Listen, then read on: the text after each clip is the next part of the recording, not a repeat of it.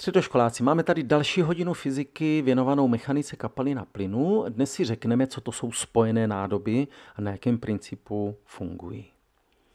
Minulou hodinu jsme si objasnili hydrostatický paradox, kde jsme řekli, že ať máme nádoby jakéhokoliv tvaru, tak hydrostatická tlaková síla na dno bude ve všech situacích stejná, mít stejnou hodnotu, pokud ve všech nádobách bude stejná kapalina o stejné hustotě a stejné výšce.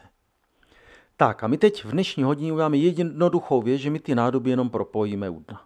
A dostáváme spojené nádoby. Takže začneme takovýmto pokusem. Já už tady ty nádoby mám, vidíte, že tady mám tři spojené nádoby. Já teď do nich napustím vodu, všimněte si, že ta voda stoupá ve všech hladinách stejně, já to ještě zvětším. Ve všech stoupá rovnoměrně stejně do stejné výšky. Tak, a proč tomu tak je, nebo co se tam odehrává? Tak pojďme se podívat. Já jsem si to tady překreslil teď, takže mám tady teď ty tři nádoby. Jedna, druhá, třetí. Toto je to vzájemné propojení, proto jsou to spojené nádoby.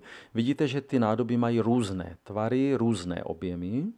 A teď tady mám kohout, do kterého připojím přívod vody a napustím tam teď vodu. A takhle se nám to odehrálo v té situaci, co jsme před chvíli viděli v tom pokusu, že vystoupila voda ve všech třech e, nádobách do stejné výšky. Tak.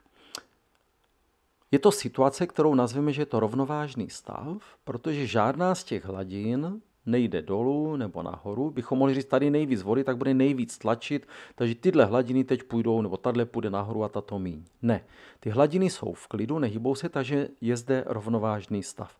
To znamená, všechny síly působící v rámci tady té soustavy musí být jejich výslednice nulová. Tak dále víme už z hydrostatického paradoxu, že jestliže máme kapalinu v různých nádobách, ale ve stejné výšce, tak u dna je stejný hydrostatický tlak. Takže to já zde mám vyznačeno a dokonce bychom byli schopni ho pro tu vodu vypočítat. Současně ale víme, že zde působí atmosférický tlak, protože jestliže máme vodu nebo máme plyn, obě dvě jsou tekutiny a platí pro ně velmi obdobné zákony. Takže tady nám působí tlaková síla, samozřejmě našeho vzduchového sloupce naší atmosféry, takže atmosférická tlaková síla, která se projeví tlakem na tady ten povrch. Ve všech případech je ten tlak tady pro nás stejný. A to je právě důvod, proč nám vystoupí ta voda do stejné výšky. To znamená, z hora proti té vodě mě působí atmosférický tlak, a ten způsobuje, že ta voda vystupuje ve všech těch eh, nádobách do stejné výšky. Tak, pojďme si jenom ukázat, eh, mám tady tři příklady takovýchto konviček, kterou konvičku byste si vybrali, kterou byste si koupili, tak, aby byla relativně bezpečná, aby se vám s ní dobře naléval čaj. Tak, pojďme. Tak pojďme od té první. Všimněte si, čím se liší.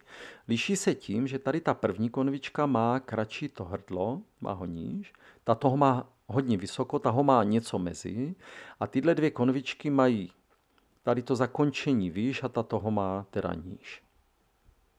Tak, už jste si vybrali, která se vám líbí, která by se vám hodila nejvíc?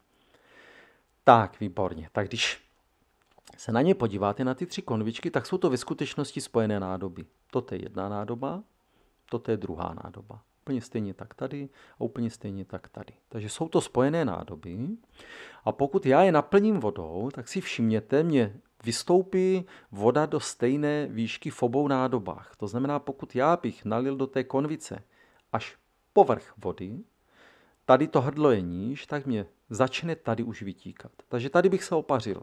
Tato konvička je velice špatně vyrobená, toto hrdlo je moc nízko.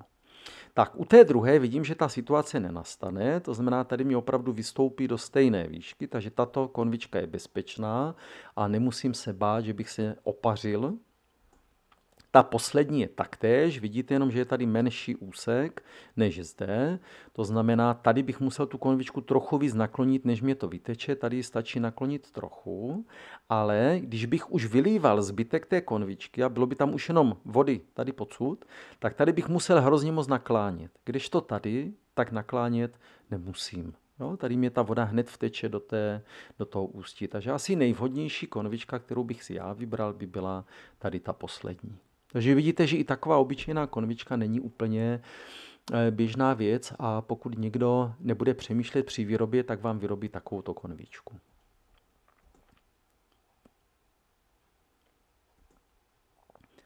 Tak, pojďme si ještě ukázat, kde se setkáme s, eh, se spojenými nádobami. Tak je to jednak ta konvička, jednak tady mám kuchyňský dřez. Já teď eh, to trošičku dokreslím a zbarvím, takže doplním si tady celý ten dřez. Uberu barvu teda té kuchyně, ta nás zajímat nebude. Tak a teď se podívejte toto je ten dřez, tady je odpad. A proč ten odpad je v takovémto tvaru? Proč to nevede přímo teda hned do toho odpadu? Tak já vám to hned ukážu. Když vypustíte vodu, tak ta voda začne odtíkat tím odpadem a když přestanu, tak ta voda odteče, ale zůstane mě tady v takovémto tvaru. Tady, takhle. Tak, to, je, to jsou spojené nádoby, že? Takže hladina bude ve stejné výšce, ale má to jednu obrovskou výhodu tady toto řešení. Že v okamžiku, kdy takto ta voda tady je, tak pachy, které jdou z kanalizace tudy, přes tu vodu neprojdou. To znamená, vám nepůjde do kuchyně eh, no pachy a takový ten mm, nedobrá, eh, jo, co jde z kanalizace. Pokud budete třeba 14 dní na dovolené a ta voda vám tady vyschne, byť pocud, tak se vám ty pachy už začnou tudyma dostávat dovnitř a vy přijdete po 14 dnech, se vrátíte z dovolené a řeknete, co to tady smrdí, co je to tady v té kuchyni. No, vy, kteří sledujete toto video, tak už víte, stačí jenom pustit trochu vody, dolit tady, doplnit tu hladinu, aby byla výš a už ty pachy vám do té kuchyně znovu eh, se vracet z té kanalizace nebudou. Stejně tak funguje i sifon u třeba záchodu. Já tady mám ještě jeden příklad. Plavební komora, jak funguje. Tak já tady mám loď, všimněte si, ta loď připluje, připluje tady po, jo, a po, po vodě a teď potřebuje překonat nějaké převýšení. Tady se právě ta plavební komora používá. Jistě, že potřebuji překonat nějaký nadmořskou výšku. Tak a jak to udělat? Tak všimněte si, velice jednoduše. Já tady mám spojené nádoby teď. Všimněte si, teď mám dvě spojené nádoby. Takže, co se stane? No, dojde k tomu, že bude vyrovnaná hladina. Takže vyrovná se hladina a loď může zase odplout. Takže pomocí spojených nádob. Krásná ukázka. Tak, co se stane ale, když já do těch spojených nádob dám kapalinu o, roz, o různé hustotě? Tak, já to tady ukážu. Mám tady teď kapalinu o hustotě RO1 a kapalinu o hustotě RO2, která je taková do zelena. A mám tady společné rozhraní. Co teď musí platit? No tak my víme, že hydrostatický tlak, nebo respektive každá z těch kapalin, v každé z těch kapalin vzniká hydrostatický tlak. Je dán výškou sloupce kapaliny nad rozhraním. Naše rozhraní je tady. Takže já si tady vyznačím nulovou hladinu toho rozhraní. Výška té kapaliny té modré je H1, znamená od jejího povrchu po to rozhraní. Toto je výška kapaliny H1. Výška kapaliny H2, té zelené, je tady tato.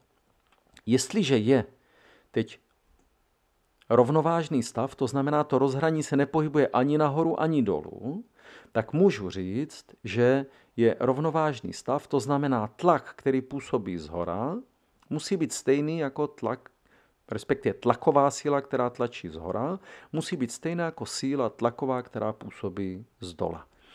Takže tady mám hydrostatický tlak z dola, hydrostatický tlak z hora. Pokud se ty dva tlaky sobě rovnají a dosadíme si hodnoty, které zde máme zadány, tak nám vychází tady tento vztah, že hraje roli, takže hustoty kapalin jsou ve stejném poměru jako, převrácené, jako převrácený poměr výšek. Takže když bude hustota ρ1 dvakrát vyšší, tak tady musí být dva, eh, když bude ρ1 dvakrát menší než ρ2, tak pak bude ta výška dvakrát vyšší než tady ta H2.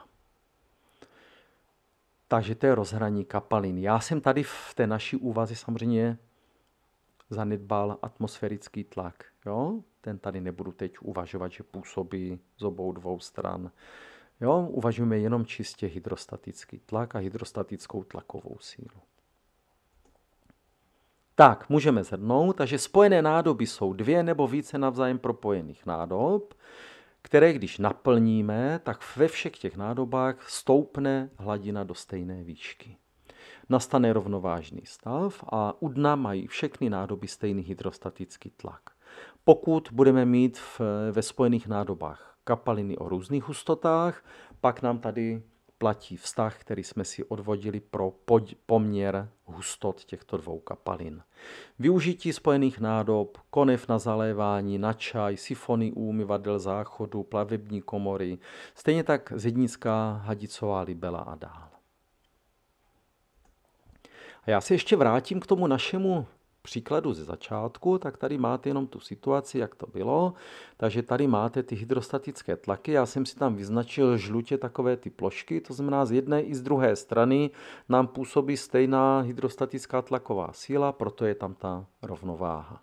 Jo? Takže takhle by to vypadalo e, v tom našem pokuse. Tak, to by bylo vše, já si s vámi rozloučím. Mějte se pěkně, pokud budete chtít přispět na mou činnost, budu rád a u další hodiny zase nashledanou.